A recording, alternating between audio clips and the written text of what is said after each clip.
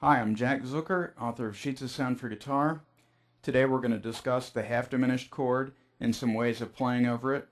I'm going to first take it out of the context of a chord progression and isolate it into just the chord by itself, as you'll hear in the following vamp. This is just a D minor 7 flat 5 chord by itself, not in a progression. And uh, a lot of beginning improvisers have a tendency to try to think of this as the 7 chord, and so they would think of this as the 7 chord in the key of E flat.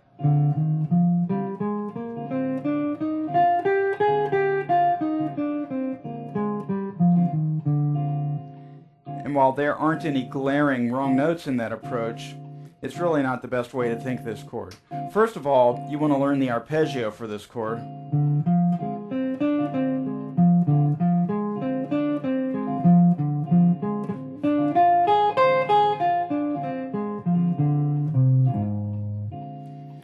Let's fill in the gaps. In between the arpeggiated notes, the question is, here's the root and the third. What do you play for the second? In the E flat major scale case, but you can hear the clash there. That doesn't sound very good. And so the choice of using an E flat major scale for this chord, you can hear there's a, a, conflict right there. What I like to play is the natural nine or the natural second.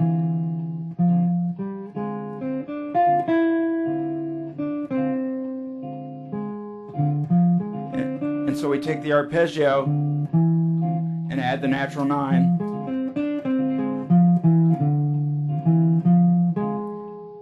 And we can fill in the fourth there.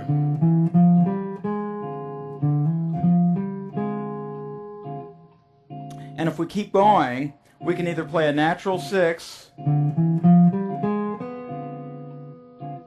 but I prefer to play the flat six, then the flat seventh, and then the root. What we really have there is an F melodic minor. Now, when I say F melodic minor, I'm talking about the notes in the ascending melodic minor scale, not the not the classical A melodic minor, which would come down on a different scale than it goes up on. So the scale is this.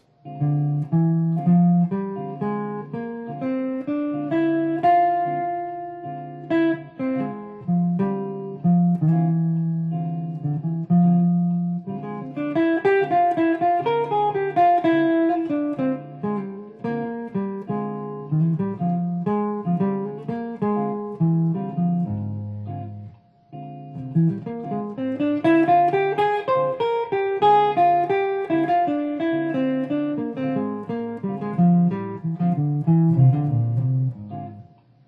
then, of course, you might ask yourself, well, let's see.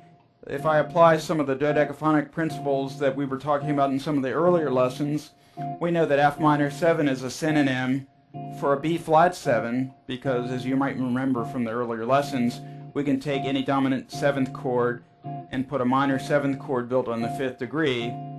Ergo, we can play a B flat 7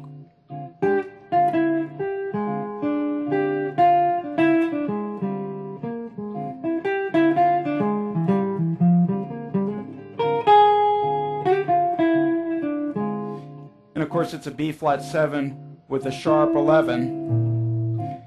And in fact, I can play some voicings that I would normally play over a B flat 7 with a sharp 11 over this minor 7 flat 5 chord, including some exotic chords like uh, this with a half step in there.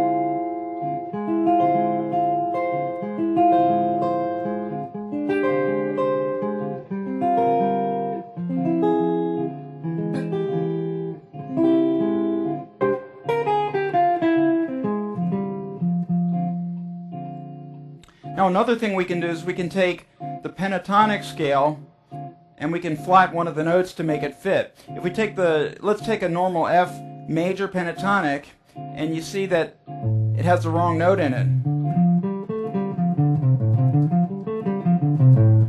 But if we flat that note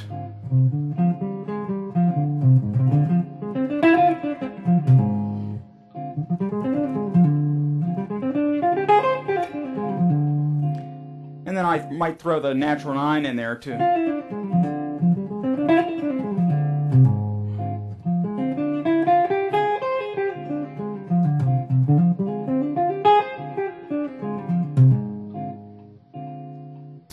And then as long as we're thinking along those lines, how about if we just play the Pat Martino F minor lick over that?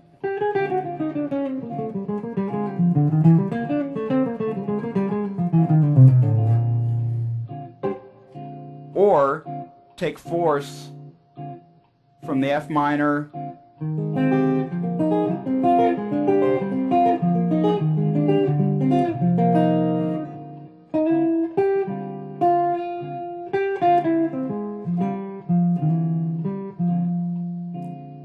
Or let's invert that F minor so that we end up with an A flat major 7. And let's play the A flat major 7 with a sharp 5.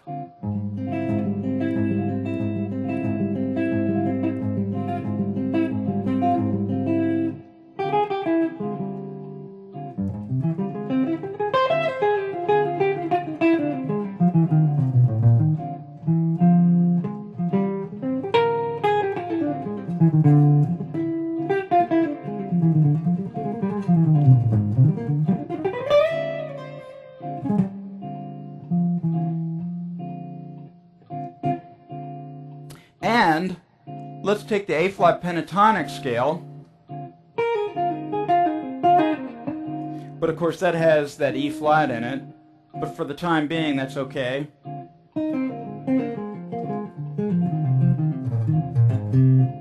And let's harmonize that in thirds.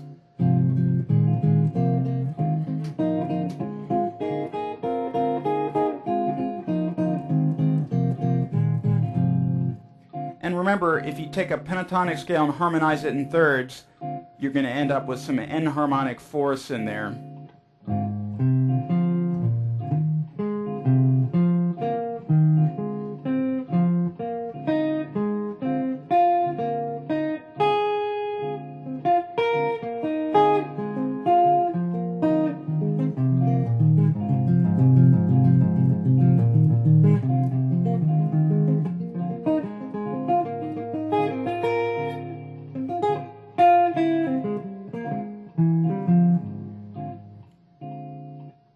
All right, now let's look at it in context of a chord progression. We're going to take a D minor 7, flat 5, G7, and C minor.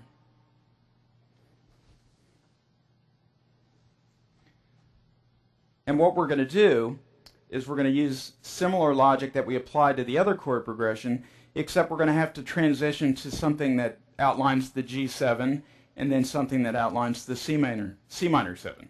So let's hear what that sounds like.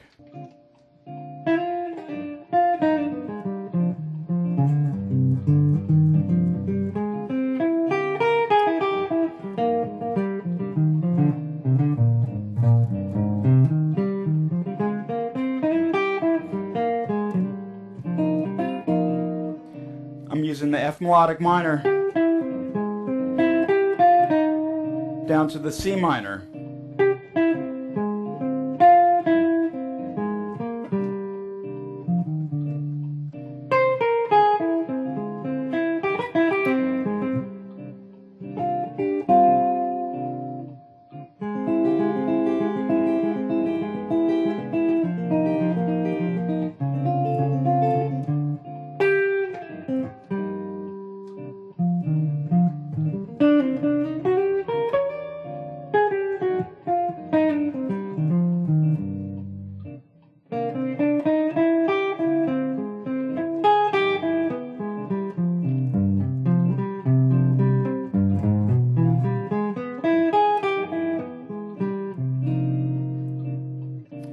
Of times I can stay on that F minor sound over the G7.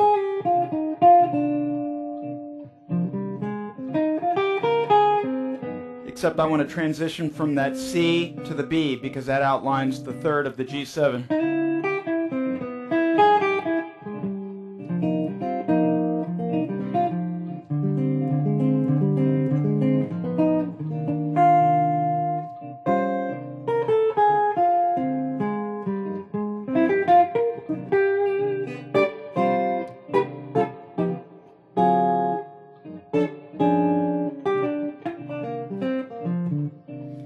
Here, I'm treating it as an D7 alt chord, which you can get away with in a movable chord progression.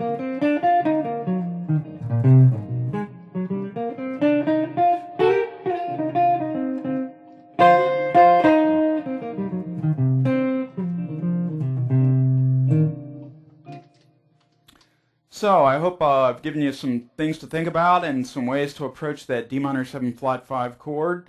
Um, of course, there's way more to, to it than just that, and there's a lot more applications, uh, which we can get into at a later date. But until then, this is Jack Zucker signing off.